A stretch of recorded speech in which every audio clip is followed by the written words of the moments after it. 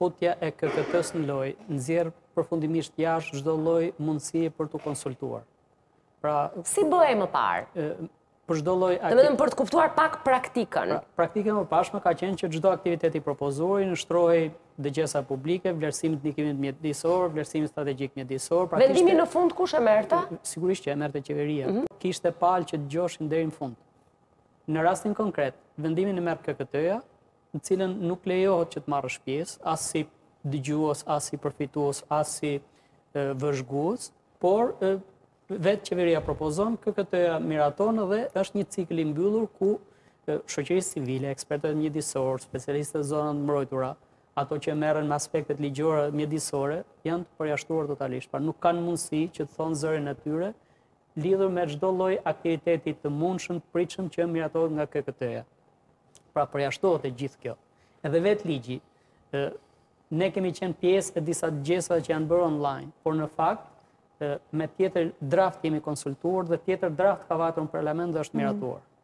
Pra, ngjajnë draftet, janë, janë le themi, shtuar gjëra të vogla rrugës, apo jo, ka ndryshu gjithë themeli?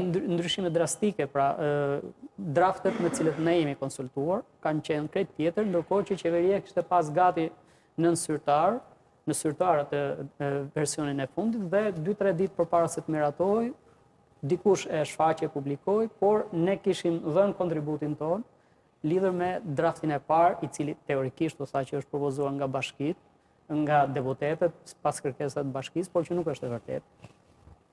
Pas gjithë kësaj historie, qëndron ajo që thamë për Pishë-Poron. Pra, për Pishë-Poron ka patur persona të cilët kanë vajtur me dosje të gatshme për të zhvilluar e tjera e tjera, dhe meqenëse nuk u pranua nga administrata e zonave të mbrojtura atje, iu vunë flaka. dhe ia vënë flaka një zone e cila duhet të ishte më e kollaj dhe më e lehtë në Shqipëri. Edhe u desh dy javë me fik, edhe pse zonë fushore që me një helikopter fikej brenda ditës. Ashtu, kështu që kjo është ajo që qëndron pas ligjit, pas derës së ligjit është pikërisht shkrepsja dhe makineritë e betonit që qëndrojnë pas pas dere. E kuptoj. Po për të kuptuar pak mënyrën se si i kanë ndërtuar institucionet, KKT-ja çfarë përbërje do të ketë? atë përbërje që ka, ka aty jo, në mes